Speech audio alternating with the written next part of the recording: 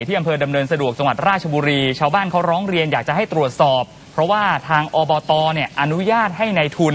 ถมดินเพื่อปิดคลองตรงนี้ เชื่อมต่อที่ดินของตัวเองครับ พื้นที่ที่เกิดปัญหาคือบริเวณคลองสาธารณะ สายเหมืองหลังป่า หมู่ที่ 4 ตำบลดอนคลังอำเภอดำเนินสะดวกจังหวัดราชบุรีนะครับพบว่ามีการถมดินในคลองสาธารณะแบบนี้ครับเป็นระยะทาง 100 เมตร ไปปิดทับเขื่อนกันดินที่อยู่ระหว่างการก่อสร้างขององค์การบริหารส่วนจังหวัดราชบุรี คือถมที่เพื่อให้เชื่อมต่อกับพื้นที่ด้านใน ในลักษณะเหมือนเขาเตรียมที่จะสร้างบ้านตรงนี้อะครับ คือตรงนี้เป็นคลองไงแต่พอไปถมปุ๊บเขาก็เลยกลัวเดี๋ยวจะเกิดปัญหาขึ้น คลองสาธารณะตรงนี้ชาวบ้านในพื้นที่บอกว่ามีการยกที่ดิน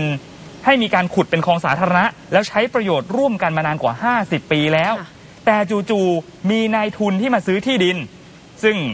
มีรายงานบอกว่า เป็นที่ดินของทางนายกอบตด้วยนะอ๋อเหรออ่าแล้วทางอบตอนุญาตให้เอง อืมก็เลยเกิดคำถาม เพราะว่ามันมีการถมคลองเป็นทางยาวแบบนี้ แล้วก็บอกว่าอ้างว่าได้รับอนุญาตจากอบตดอนคลังแล้ว ที่ชาวบ้านกังวลก็คือการถมดินแบบนี้เนี่ย เดี๋ยวจะปิดทางน้ำไหล ค่ะ แล้วที่ผ่านมาก็ไม่มีใครกล้าไปร้องเรียน เพราะกังวลเรื่องของผู้มีอิทธิพลในพื้นที่นี่แหละครับ ไปฟังเสียงครับ ทำเขาไม่ได้งานคุณบริหารนะคุณบริหารเพื่อตำบลเพื่อชาวบ้าน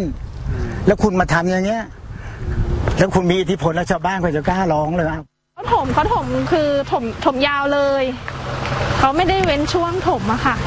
คือปกติถ้าถ้าทำทางเข้าบ้านนี่คือมันจะเว้น ใช่ใช่มันจะต้องเป็นเว้นช่วงค่ะ เหมือนแบบทางตรงเนี้ย จะเว้นช่วงอะค่ะ ใส่ท่อแล้วเว้นช่วงเลยใช่ค่ะเว้นช่วงเอาค่ะ แต่นี่คือเขาไม่ได้เว้นช่วงคือเขาถมยาวเลย ปัญหานี้นะครับทางกำนันตำบลดอนคลังได้ทำหนังสือร้องไปยังศูนย์ดำรงธรรมของจังหวัด รวมถึงกอรมนแล้ว และอยู่ระหว่างส่งเรื่องให้ปปชตรวจสอบการทำหน้าที่ของนายกอบตดอนคลัง และผู้บริหารด้วย ว่ามีการเอื้อประโยชน์กันหรือไม่อย่างไร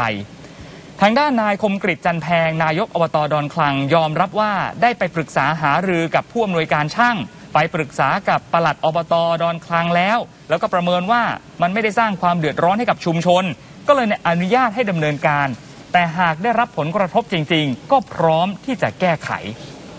สำหรับคุณผู้ชมท่านไหนที่มีเรื่องร้องเรียนมีความเดือดร้อนนะครับ อยากให้เราเป็นกระบอกเสียงให้ยินดีนะครับ inbox แจ้งเรื่องกันเข้ามาที่เพจ Mono News ข่าวโมโน ที่อยู่บนหน้าจอตอนนี้ได้เลยครับ